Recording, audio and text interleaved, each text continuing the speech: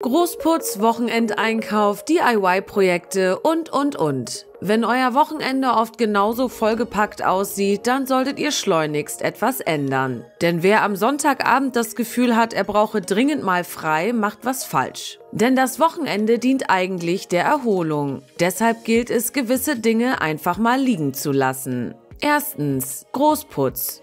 Wer sagt eigentlich, dass Haus oder Wohnung am Montag makellos aussehen müssen? Statt eines Großputztages verteilt ihr die Putz-To-Dos kleinteilig auf die Woche und lasst die ganze Familie helfen. Zweitens, Wocheneinkauf. Samstags einkaufen ist die Hölle, denn die Supermärkte sind voll und die Regale oft fast leer. Macht den großen Wocheneinkauf lieber unter der Woche. Wer kann, direkt am Morgen. Aber auch ab 19 Uhr wird es in den Supermarktgängen und an den Kassen leerer.